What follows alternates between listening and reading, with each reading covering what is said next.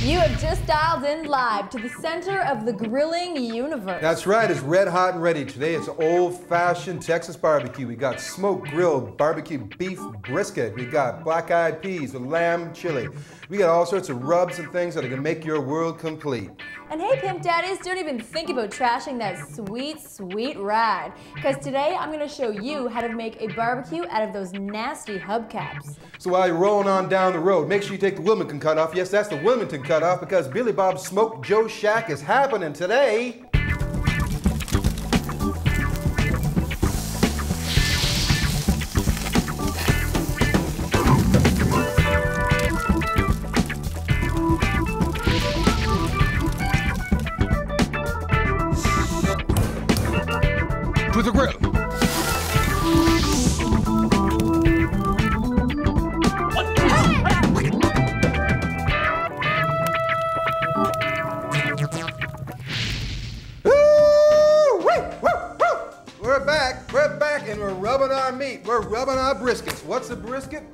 Brisket? I'll tell you what a brisket is, because I know what a brisket is. A brisket comes from here, comes from here on the cow, the cow. The cow, that's the animal that makes milk. But in this case, it's making us some brisket, okay? So we're doing the brisket up. What we wanna do is we wanna tenderize this mother, and we're gonna turn it over here like this. Can you leave a spank? Spank, spank. You don't want to be spanking the meat on TV, do you? You want to take the Buford T Pusser and whack that brother. Bam! Yeah! Yeah! Yeah! Yeah! Okay, now we got that happening. We got to make our little bit of a beef, beef, beef rub, okay? Moving over here, we got some brown sugar. Sugar. We got some of this here uh, onion salt. Yeah, that's it. Paprika. And lots of the chili, right? We got lots of the chili. Chili's going to the rub, the rub's going to the chili. Chili's going to the beef. And we got some of our, this here is our uh, oregano. That's it. And we got some of our garlic, garlic powder, and cumin. Mix it all up. We're rubbing it down. There we go. Mm. Woo! Get that rub in there. That's ready for the fire. What do we have with beef brisket now? We have guacamole. Okay, what that is. Guaca means means guaca, and mole means mole. Okay. Gonna slice in our avocados. Yeah. Get in my face, mole. But you want some of that? Huh? Okay.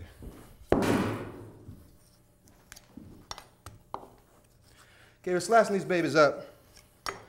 Gonna squeeze them into the to here. Because we're gonna mush them up later on anyway. Straight into the bowl. Another two. Right on in there. There we go. Don't get any on you here. Get that in there. Yeah. So you know what we need to do? We need to be adding some of our lime juice. Lime juice prevents this from going gray. We don't want gray. Got a little bit of the cilantro. This comes from the Mexican chaps south of the border. The guys are always, uh, shh, never mind. They come to the barbecue, you know what I mean? Into the drink. Got some onion, straight in the bowl. Chili pepper, into the bowl. A little bit of tomato, into the bowl.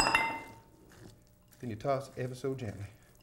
Ever so gently, like you're rocking in your sweet mama's arms rocking, rocking, we're rocking, we're rocking, we're rocking like when the sweet mama's arms. We're rocking in mama's arms. We can take it to the grill. Take it straight to the grill. Right to the grill. Can I get a witness on the grill? Give me a grill mark, please! Praise the grill.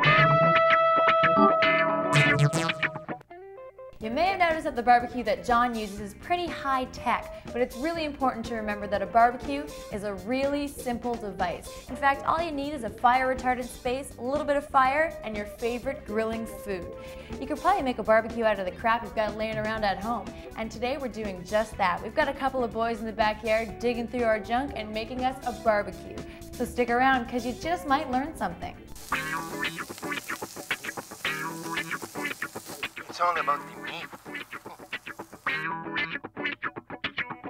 And we're back. And what are we doing? We're making smoky baked beans, okay? We're gonna start off with a little bit of cannellini beans. These are an Italian bean, but they are grown right here in North America, processed by the good folks at the Cannellini Bean Company.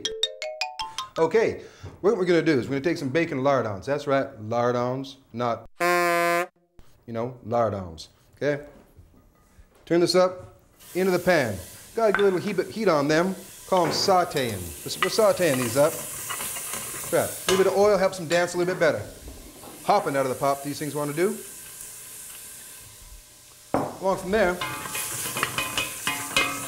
grabbing the onion. One large onion in very fine dice, right into the pot, okay? Once we got this going, we gotta let this sit and saute for a few minutes, okay? Get the flavors out of the onions, get the flavors out of the bacon, out of the bacon and out of the onions, okay? You got that? Bacon and onions, getting the flavor out. Moving over here. We're gonna make a mopping sauce for our beef brisket that we already seasoned up outside. And what a mopping sauce is, it is something that is going to enable our beef brisket to stay nice, moist, and tender on the barbecue. It's not a true barbecue sauce, but what it is, it's a mopping sauce. A mopping sauce makes it moist, right? I already told you that though, so now you know. Okay, let's move it over here. Got a little bit of sugar for the sweet, okay? This is gonna make a nice caramelized exterior on our piece of meat. Okay, moving along, we got some, ooh, that's garlic. Got lots of garlic in there. Got some chili pepper, straight in.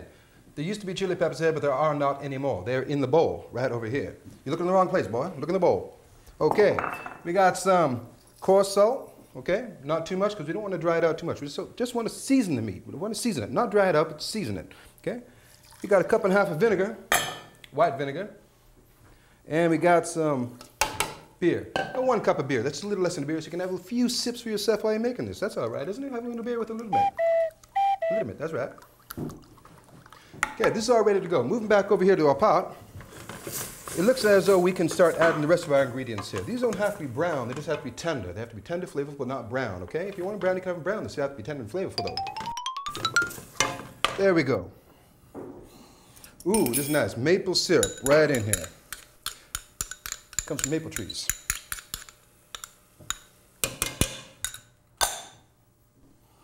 Ooh, cider vinegar, that's great. That comes from cider. And black strap molasses, just so we don't want this sticking to our ribs. This is the kind of meal that you want to have, and later on you're going to say, that stuck to my ribs. Okay, that's what we're doing, making stick to the rib beans. And this here, ladies and gentlemen, take a look there. This is liquid smoke. This is the extract from a smoker that's been scraped off and distilled somehow that they're not telling us, but we know it works. So we're dumping it in there. We got about a teaspoon of liquid smoke. This stuff is very, very powerful. Don't put too much in, otherwise you're going to have too much smoke. And You have so much smoke you won't know what to do with your smoke. So just a little bit because we don't want too much smoke. We got that smoke in there, now it's going. Quarter cup of brown sugar. And we got about three teaspoons, pardon me, tablespoons of dried mustard. That gives a little bit of heat too. That's good. Gives that nice mustardy heat. And we got some ketchup. Three tablespoons of ketchup as well. That's going to give us that little bit of the barbecue sort of flavor, like what you get in a barbecue sauce. But we're not making a sauce, we're making beans. Mm, mm. Don't talk to me. Is it done yet?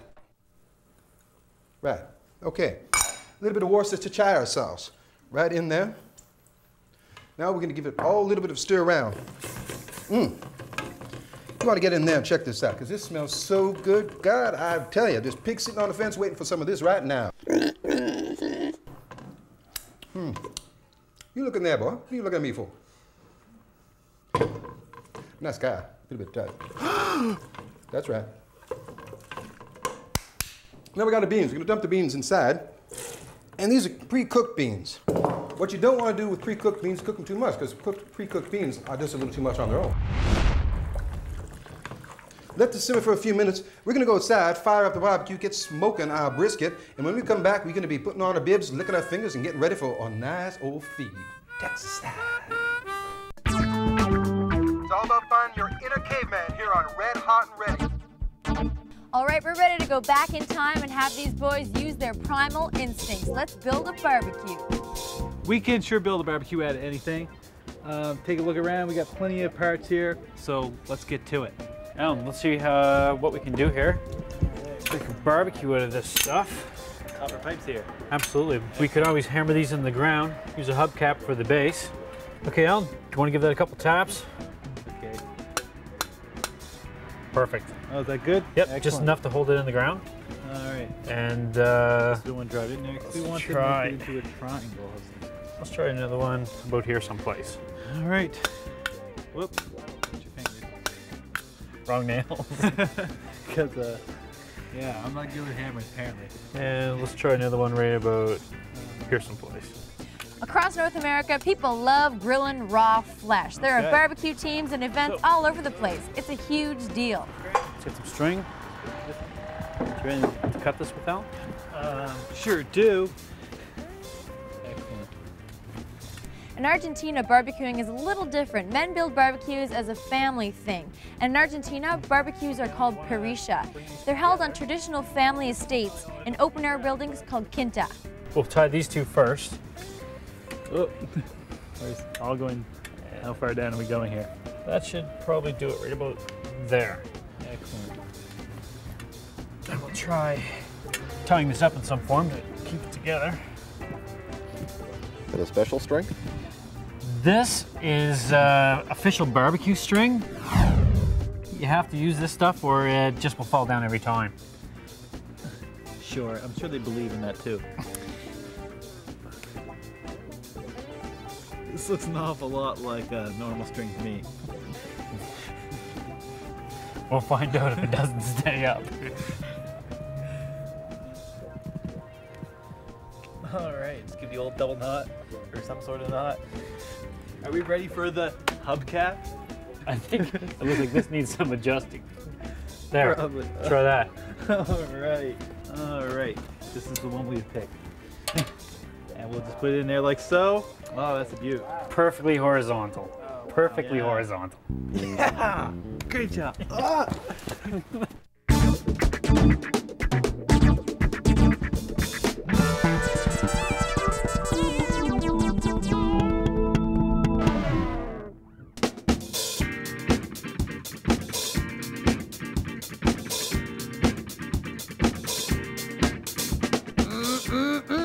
So forget about taking your trash to the dump, boys. We're taking recycling to a whole new level. Spark it up, boys.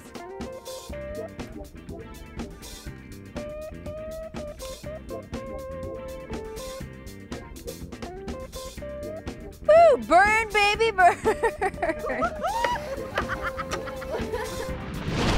oh, guys, doesn't this kind of remind you of the Olympic torch? Only crappy. Yeah. You know, there are a lot of stories about the origin of barbecuing out there, and my favorite one comes from Guana. Supposedly, the ancient tribes used to cheerfully spit roast their enemies. How do you like that one? I don't think we're going to be getting into that today, but we'll see what happens because I might have to throw John on the grill.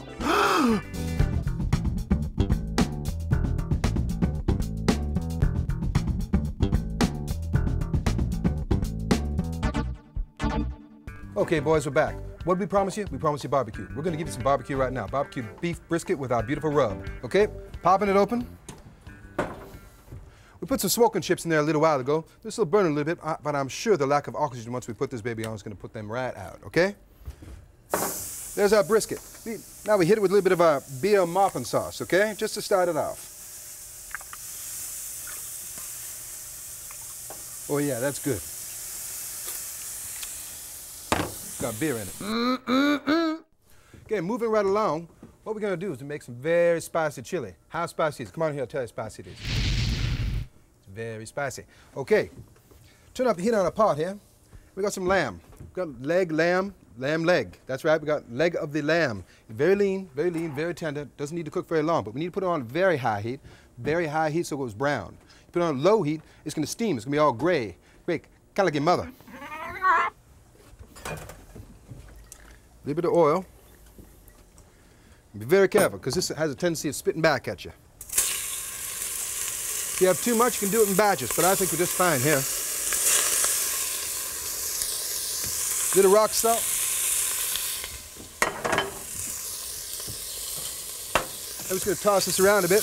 We don't want to overwork this because what will happen is it won't caramelize, and that's where you get all the flavors. When your meat gets brown, it's caramelizing. From there, you can add a little bit of onion. That's going to saute along with this mess. And some garlic, right in the pot. We got a couple kinds of chili peppers we're going to put in here. This is a pasilla chili pepper. This is from Mexico. New Mexico, Texas a little bit, but this is lovely. Get a smell of that. Oh, lovely. Okay, lift this up, put it straight in because everything goes in bigger in Texas, doesn't it now? Ancho pepper. Ancho pepper, very hot, very earthy, very smoky, and this is going straight in too, right like that. Bingo. Okay, did that not go in? Robert, where my chili at? While they're picking up the chilies, I'm gonna put in some chipotle chili pepper. This is a puree of chipotle pillies. Pili chipotles. That's right, chipotle pillies, chili peppers. What this is, it's a smoked jalapeno pepper over jalapeno wood. So they smoked it with the jalapeno. They smoked the jalapeno with the jalapeno wood, okay? Damn, John, this thing nearly flew a hole right through my house. You gotta be careful. I told your kin stay away from my house. Last time you were me hammered when what happened to my dog. Stay out of my yard. Straight in. That comment about the dog never happened. It was his cat. Now we just stir this up a little bit. That's coming along nicely. Getting some nice brown color there. I'm stirring with the with the brush because that's what we do in Texas. Ask any Texan, they stir with a brush. to that now we add some tomatoes. Get your hand right in there, squeeze them because there's some nice hot tomatoes. Think about squeezing oh something you shouldn't be. Then put it right back in the pot. Once you put the lid on it, no one will find out about it. Three cups of canned black-eyed peas. Find these all over the South. Usually they start out white-eyed, they make a couple comments, then they black-eyed. You know what I'm saying? Woo-wee! Some cumin. The Arabs use cumin. That's all right because we stole it from them and they ain't gonna get it back.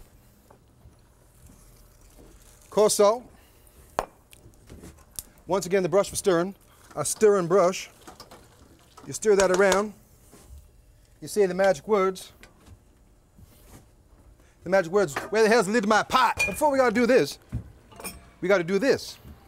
And what that is, is two cups of chicken stock and a cup of beer. Give that a stir around with a Texas chili stirring brush. Put the lid on. That'd be just fine. Ready in five minutes.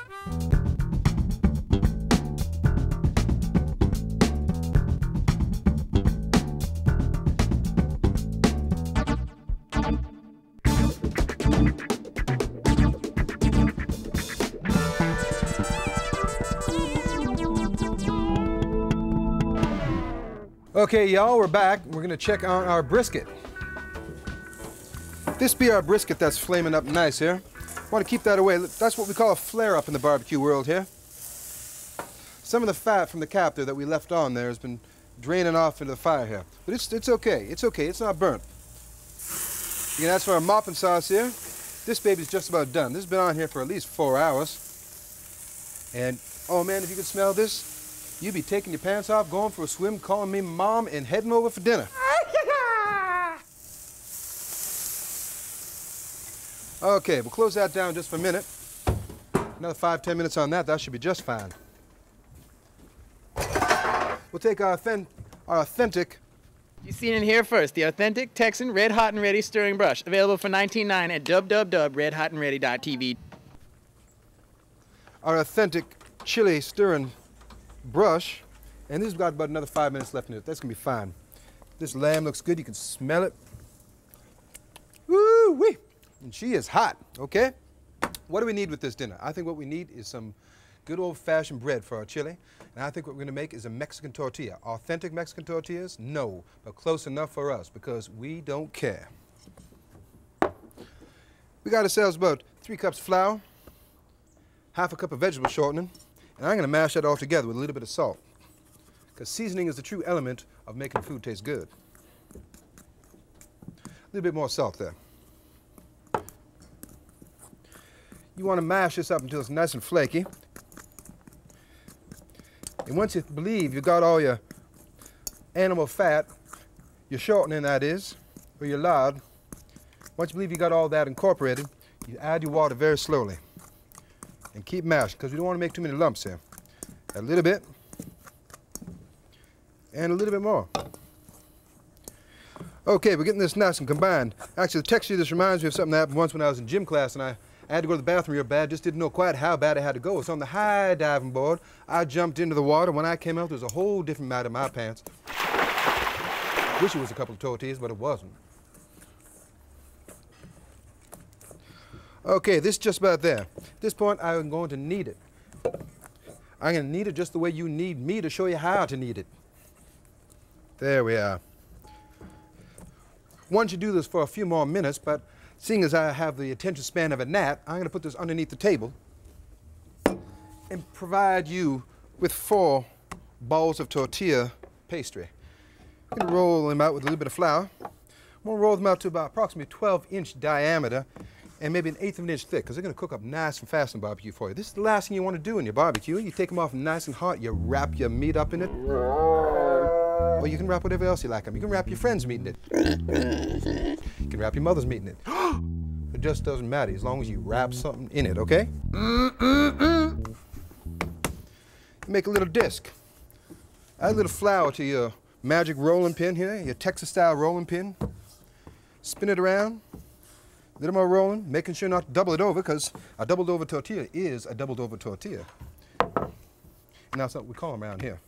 Okay, I could similarly roll out the other three. Once again, I have a very short attention span.